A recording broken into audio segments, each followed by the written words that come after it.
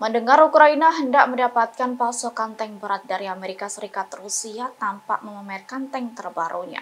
Yakni Rusia dilaporkan menarik ribuan tank militer era Soviet dari fasilitas peralatan tempurnya. Seperti diketahui, ribuan tank tersebut disimpan di lokasi penyimpanan militer terbesar Rusia, yakni di depot atau pool peralatan militer Vakzanovo.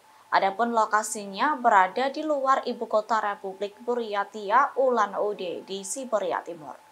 Pol militer Rusia Vakzanovo mencakup area seluas lebih dari 10 km persegi. Diketahui sekira 3.840 tank dan kendaraan lapis baja era Soviet terparkir di Vakzanovo. Tepatnya lima bulan sebelum invasi Rusia pada Februari 2022 silam. Berselang satu tahun pada November 2022, kendaraan militer tersebut hanya bersisa sekira 2.600 yakni ada penurunan lebih dari 40% dari jumlah awal.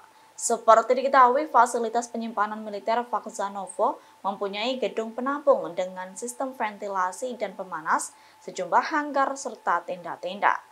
Bahkan disebutkan memiliki 10 hanggar yang dapat menampung sekira 400 kendaraan lapis baja.